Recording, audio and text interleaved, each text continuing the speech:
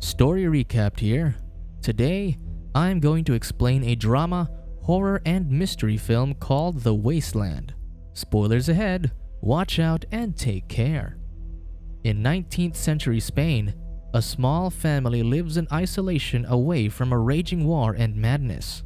Diego, the son of Lucia, and Salvador, is a cowardly little boy who often gets scared by the littlest things, like the wooden totems in his room.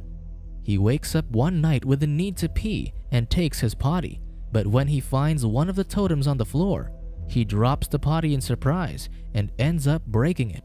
He goes to his parents' rooms to ask for some company to their latrine, so his father goes with him, bringing along a shotgun. Every little noise spooks Diego, even the rustling of trees, but thankfully, he's able to finish going to the toilet. When they head back inside, Diego goes to Lucia because he's too scared to sleep alone, so Salvador takes his room instead. The next morning, Salvador tries to teach Diego how to kill a rabbit, but he refuses to do so, too afraid to hurt a defenseless animal. He then accidentally drops the rabbit, and it quickly runs through the grasslands. Although Diego tries to chase it and bring it back, he stops when he's about to cross their boundary. It is a perimeter marked off by scarecrow like wooden posts that they can't cross because they deem it unsafe. Lucia comforts Diego, telling him that he doesn't have to kill the rabbit if he doesn't want to, but Salvador is insistent on making Diego become a man. Although Salvador tries to continue teaching him how to kill an animal, Lucia instead beckons him inside to help her with cooking. The couple seems to be cold with each other, often arguing on how to raise Diego, but it's quite obvious that the boy favors his mother. Diego asks Lucia what will happen to the rabbit that ran past the boundaries, and she gives a straightforward answer that only bad things will because of the war. Lucia raises Diego with much love, always coddling him, letting him treat their food source as pets, playing with him, and even taking baths with him.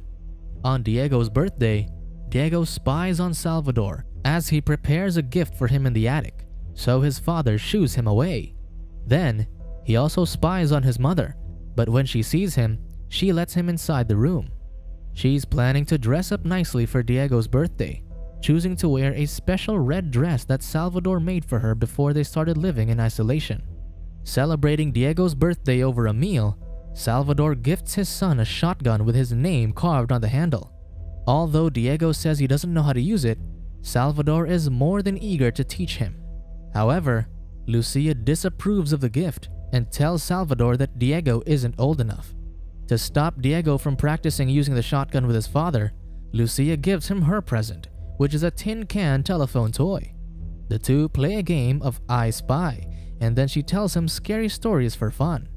Diego asks Lucia for another scary story, but when she can't think of another one, Salvador starts sharing his own tale instead an old legend about an evil beast that preys on people's fears.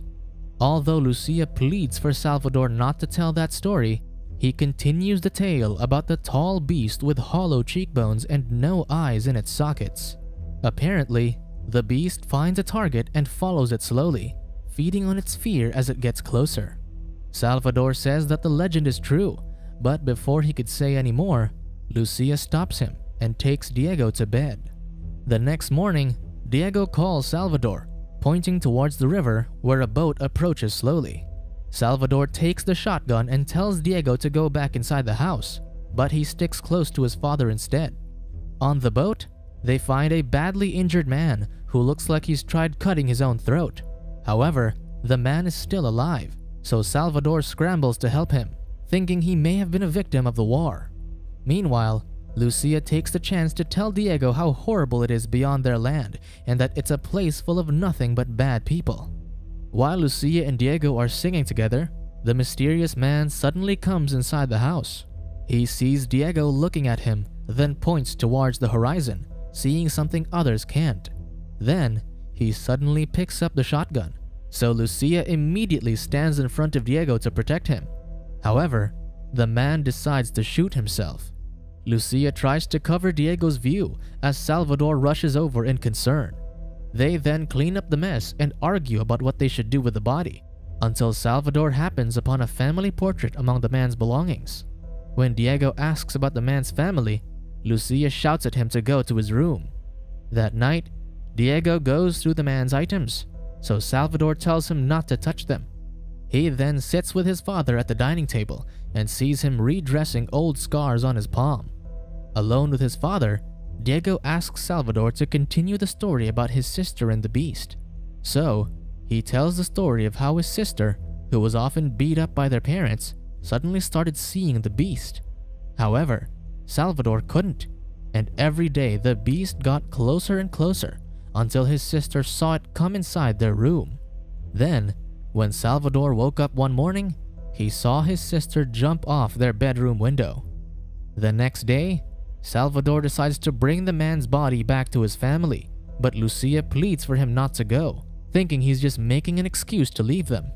Diego also tells Salvador not to go because it's dangerous, but Salvador has already made up his mind, barely looking back on his family as he tells his son to take care of his mother.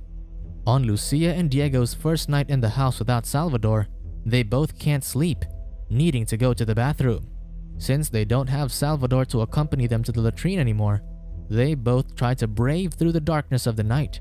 However, their fear takes over as they go back inside the house and take two pots for them to pee on instead. Although they try to go through their days normally and do their usual routines, they begin to feel Salvador's absence. Lucia starts to become more absent minded, waiting for Salvador to return, while Diego tries to believe that his father will come back soon, saying that he'll be back in a day. Diego greets Lucia on her birthday, but she's becoming distant. To cheer his mother up, Diego bakes her a pie and fixes his own hair, then tells her to make a wish. However, when Diego asks her to play I Spy on their tin can telephone, she refuses, so Diego forces her. He goes out of the house while they use the tin can over the window. But before they could play any further, Lucia suddenly shouts for Diego to go inside as she rushes outside with a shotgun. She scans the area and eventually finds nothing and that's when she returns inside with Diego to hide. While trying to sleep, Diego suddenly has a nightmare about a young Juana, Salvador's sister, pointing towards the beast. Diego then follows Juana and he sees her jump out of the window. A storm brews outside while they're having dinner one evening, and Lucia stands up after hearing a suspicious noise. Diego hands her the shotgun but protests for a bit, thinking it might be Salvador. However, Lucia is convinced that it isn't, pointing towards a figure in the distance, hiding behind the scarecrows. She starts to shoot, but can't see through the storm, so she goes outside to get closer, while Diego keeps screaming for her to return. A little while later, Lucia goes back inside, telling Diego that she got rid of it. Unfortunately, Lucia's mental state worsens the following day, ignoring Diego whenever he calls for her. Then, when Diego tries to go outside, Lucia scolds him. Although he's told not to leave without his mother's permission, Diego is stubborn and still opens the door, only to be surprised by one of their scarecrows perched by the doorway. Realizing it's been dragged by the storm the previous night, they decide to put it back in place. Diego goes to talk to their rabbits, but Lucia comes by, ordering him to pick one that they'll eat. Although Diego tries to refuse at first, Lucia is stern, telling him that if he doesn't pick, she will. Diego picks one, but hides away as Lucia slaughters the rabbit, and he also refuses to eat the meal. He angrily heads outside, followed by Lucia, who tries to reason with him. Then suddenly, she points the shotgun towards something behind Diego. Lucia slowly walks away from him, trying to aim for what she sees, while Diego is too scared to move from his position. Then, all of a sudden, the strong wind blows the sheets away from the clothesline, and as Diego gets trapped underneath them, he hears Lucia screaming and shouting at something. After a few seconds, Diego removes the sheets from himself and sees his mother shooting at something in the distance. He asks whether it was closer than before, and when his mother says yes, Diego immediately concludes that it must be the beast from the tales. However, Lucia tells him that it isn't real saying that Juana killed herself because her parents beat her up. As Lucia slowly descends into madness, Diego tries to play with her, but she keeps waving him off. Then, out of the blue, a loud noise startles them, and something starts banging on their door. Lucia orders Diego to open the door while she waits with a shotgun. But when the creature is revealed, it turns out to be Salvador's horse. Gleeful, Diego suddenly starts running outside, shouting for his father. However, there's no sign of Salvador anywhere. Suddenly, Diego hears a gunshot, followed by his mother shutting the door. So he rushes back, only to see the tall beast waiting by their door. Frightened, Diego hides inside the latrine, where he sees a glimpse of the creature through the cracks. When the creature passes by, Diego runs back inside the house and sees Lucia crying as she tries to process what she saw. The tall creature that wouldn't budge even after she shot it point blank. Diego looks through his father's bags, but Lucia tells him that he's not coming back. Driven to a corner with her anxiety, Lucia destroys their table to use the planks as a barricade for every possible entry in their house. Meanwhile, Diego suddenly runs outside, worried about the rabbits. Lucia then follows him while she shoots at the distance, making sure to cover Diego while he grabs their rabbits. But when they get back inside, Lucia slaps him, telling him never to do that again. The next morning, Lucia tries to teach Diego how to kill with a knife, but he's still disobedient. He then tells Lucia that he prefers to shoot, but Lucia says they only have two bullets left. Days pass, and Lucia's mental state worsens. However, Diego holds on, thinking that Salvador might come back, or at least hoping that his mother will get better. When Diego wakes up one day, he sees the creature looking through their window, and they hear it climb up to the roof. Lucia forces Diego to climb through the chimney and shoot the beast, but he's understandably scared, shouting at his mother for help. Then, when Diego falls from the chimney, Lucia grabs the shotgun and shoots blindly instead, nearly hitting Diego. But they lose the beast once more. Worried about his mother, Diego tries to take the shotgun's remaining bullet while she's distracted, using the thunder to mask the sounds of him taking the shell. Unfortunately, Lucia still catches him, so he hides inside a room, begging his mother to stop. Lucia repeatedly bangs against his door, but then it quiets down. Diego checks up on his mother, and he sees her talking to the tin can. Lucia wishes for Salvador to come back, saying that she can't take it anymore and that the beast is getting closer and closer. Then, when she sees Diego, she gives him the can, telling him that the beast will come in. Diego listens through the can, but he hears a noise coming from inside the house, and that's when he catches Lucia hanging herself. Diego desperately tries to save his mother by cutting off the rope and then ties her to the bed so she can't do anything dangerous anymore.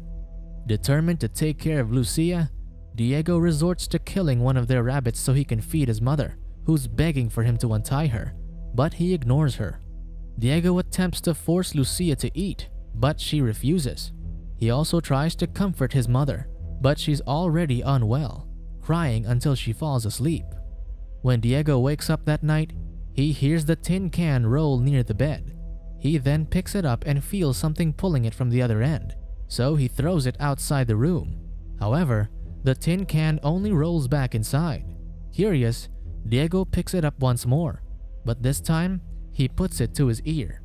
Diego hears something talk from the other end, trying to play I Spy with him, so he throws it again before shutting the door. Panicking, he unties his mother while telling her to get up. They try to run away, but since the beast is already inside their home, Diego tells Lucia to hide while he distracts it. He throws various items to ward off the creature, but he soon realizes his mother is gone. He then finds her at the dining table, wearing her red dress, and has cut her hair while trying to rock a wooden doll on a crib, thinking it's a baby. She also starts talking to someone from the other end of the table as if Salvador is there, which spooks Diego. With their time running out, Diego tells Lucia that he needs to pee and wants her to accompany him just to get her out of the house. However, Lucia pushes Diego and locks him out when he steps outside, saying that the beast wants her. Diego tries to call for his mother, using an axe to force his way through the house as he hears Lucia screaming. Unfortunately, when he gets inside, he sees Lucia bleeding on the floor, holding a knife. In the corner of the room, Diego sees the beast slowly moving closer towards them. Although scared at first, Diego ignores his fear and faces the creature, shouting for it to get away from his mother. Diego's bravery seems to work against the beast as he tries to step closer to it while it backs away. He then shoots it with a shotgun point blank, but since he's not able to kill it, he pours gasoline all over their house and sets it on fire before carrying his mother outside. Diego carries Lucia to a wagon before struggling to carry her away. However, Diego hesitates to go past the perimeter, but with Lucia's small encouragement, he treads forward to unknown lands. He then stops by a marsh to give Lucia some water, but unfortunately, she has already passed away. Heartbroken, Diego sets her body to the water, accepting her death, when suddenly, he sees the beast in front of him once more. But the beast doesn't try to get Diego as he shows no signs of fear. He then looks at his palms and sees wounds similar to his father's. And as he covers his wounds with pieces of Lucia's red dress, he reminisces about the happy memories he's had with his mother. Subscribe to watch more videos like this. Turn on notifications. And leave a like it really helps the channel out. Thank you for watching.